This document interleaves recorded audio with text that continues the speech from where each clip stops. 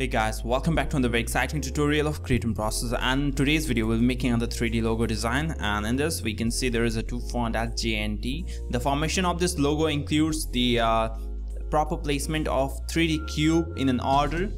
So to create this logo we'll first create the two dimension of the font as JNT then we'll use the 3D option to create the 3D object. Then we'll use the free various colors here to uh, create the sense of depth and then finally we'll add up the text. So let's begin with the tutorial. To begin, we'll first create a square with the rectangle tool. So create a square of rectangle with the rectangle tool. Then fill it with some uh, different color like a different blue color, maybe like that. Then we'll convert this into pattern. So go to object, pattern, make.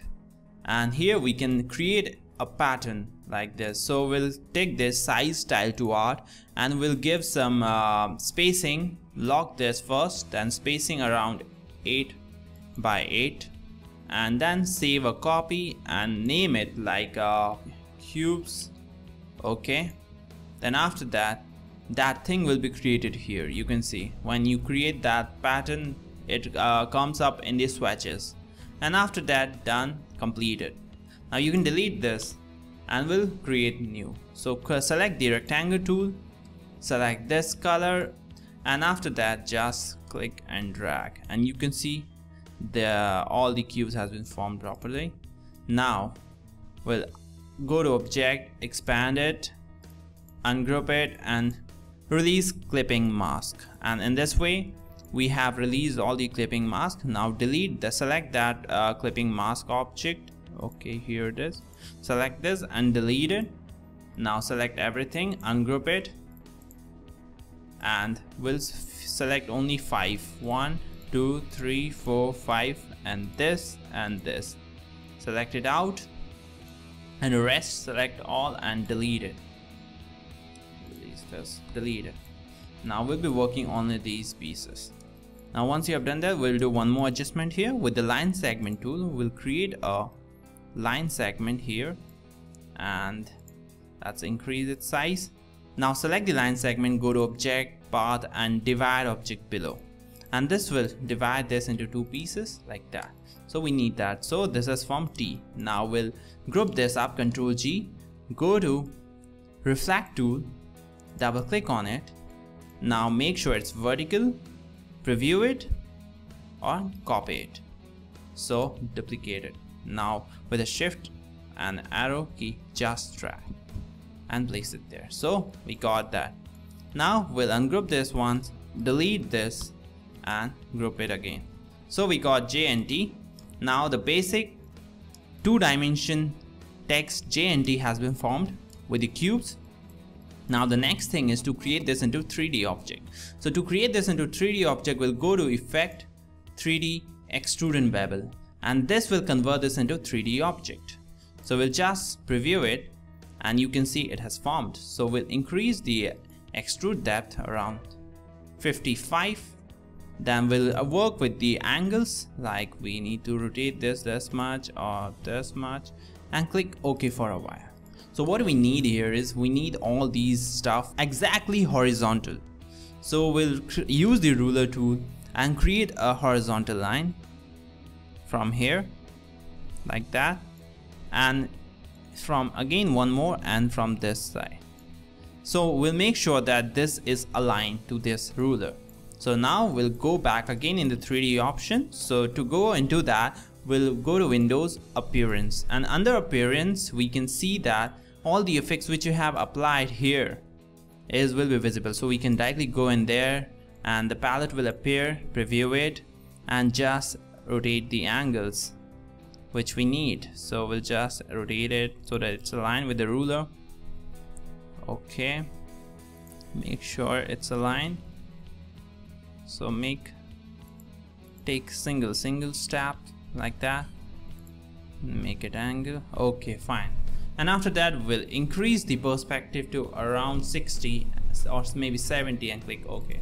So we got it. Now we can remove all the rulers and our object is in 3D figure. Now we'll select this go to object expand it so that we can edit all the faces ungroup it twice and all the faces is separate.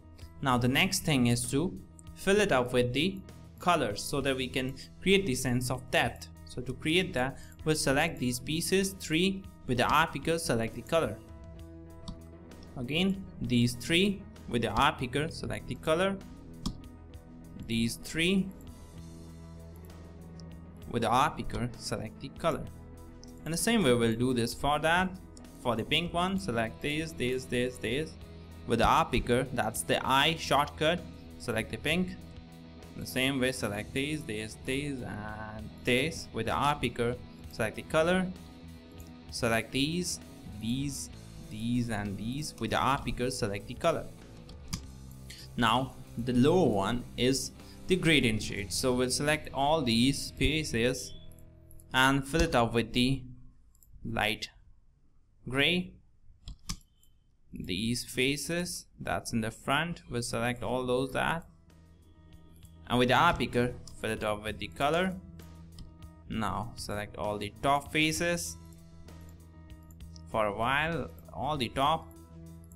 With the eye picker select the color.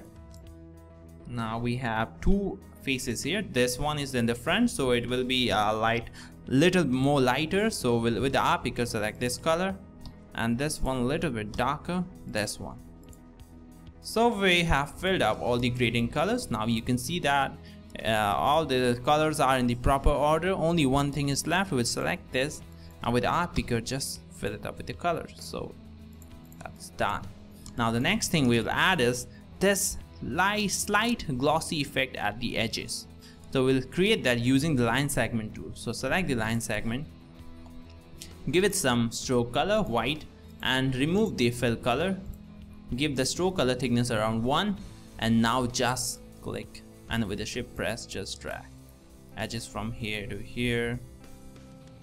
Like that. Just here. From this to this.